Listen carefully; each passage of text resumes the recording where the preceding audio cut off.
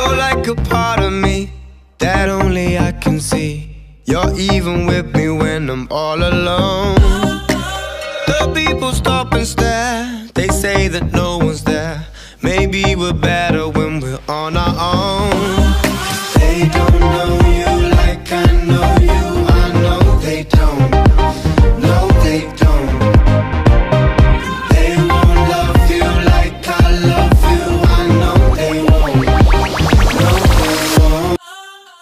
A few moments later.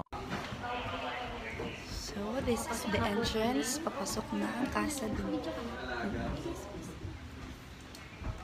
Guys, actually, strict, strict sila.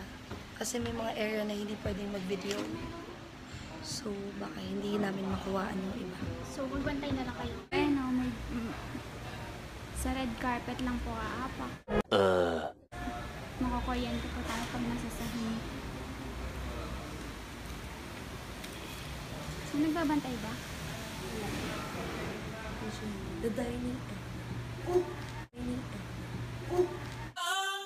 Dining area. Dining area na sinakamapan. Ang ganda ng mga ilaw. 2,000 years later. Guys, balaan, 100,000. 100,000 siya guys. Papakita namin sa inyo. Ayan. Ayan. 100,000. Punta na kayo. Ganito, 3,000 na to. General Street. 3,000 ba? Ah, makikita to sa General Street, Intramuros. Look guys, this is so amazing. Time-lapse mo na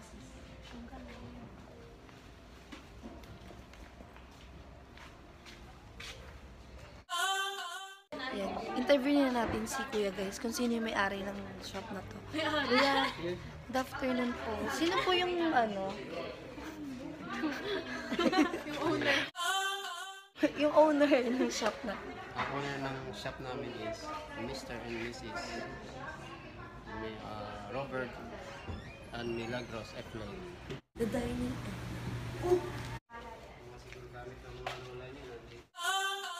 20 minutes later. Mag-hi naman kayo mga friends. Ganda nyo naman. Wapak na wapak yung mga friends ko yun. No? The dining Oh, Kasi may gala pa sila later. Sila sila. Tomorrow for sure. Hi! So, we're here at Artist guys, kukunin pala yung ano, ah, i- tatanggalin yung shoes kasi kailangan nakapaa. So guys, this is the first station ng Cartin Island. The second uh, station ng Cartin Island. Super fun talaga guys. 12 seconds later. Ayan na guys. Uh, this artwork is all about oceans and islands. Ta Kani kanina, uh, yung pinalabas na, sh- na show about creation, seven days creation. Oh, goodness. The dining What's up, Papa? The dining Nagwak ka na. So, ano masasabi ng mga kapaan namin?